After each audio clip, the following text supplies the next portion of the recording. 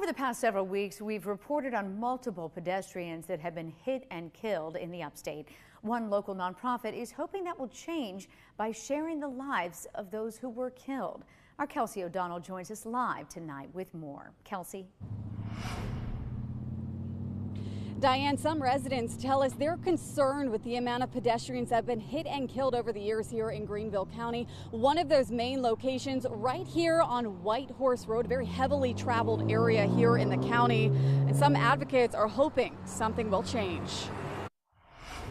It's sites like these, memorials along roads and highways in Greenville County that mark sites of deadly accidents, in many cases involving pedestrians. These are people that had lives and their lives got cut short. Frank Mansbach has been advocating for bicyclists and walkers for a decade now with nonprofit Bike Walk Greenville. These roads were designed to move automobiles with little regard to the safety of the people on foot and on bicycles. Each day, the number of pedestrian deaths continues to rise. A lot of these pedestrian fatalities that we're seeing, and I, I want to say there's close to 80 so far this year, it's, it's, it's lots of times it's happening at night. And sometimes when these people are crossing the roadway, they're just assuming that traffic's going to stop for them.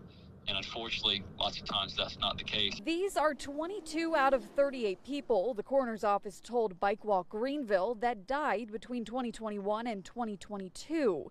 Many walking or biking in Greenville County. They're the lives Mansbach says that push him each day to seek change. Our society designs for cars. Everybody drives a car and we don't invest enough in the safety of people walking and biking. Bike Walk Greenville broke down the numbers and the cases, details they received from the coroner. Whitehorse Road, he says, one of the deadliest, along with Pleasantburg Drive and Wade Hampton Boulevard. These are high-speed roads, and the infrastructure is not designed for them to cross safely.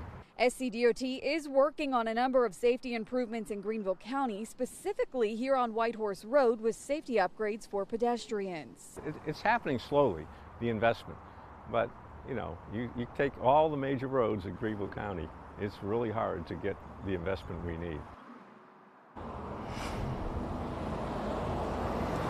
NSCDOT says they are making some safety upgrades here on Whitehorse Road, but still the Greenville County Coroner's Office says this area, Whitehorse Road in Greenville County, is one of the deadliest for drivers and pedestrians. Live in Greenville County, Kelsey O'Donnell, 7 News. Kelsey, thank you. Bike Walk Greenville says though progress is being made with safety upgrades, they still have a long way to go before they feel comfortable along those heavily traveled roads.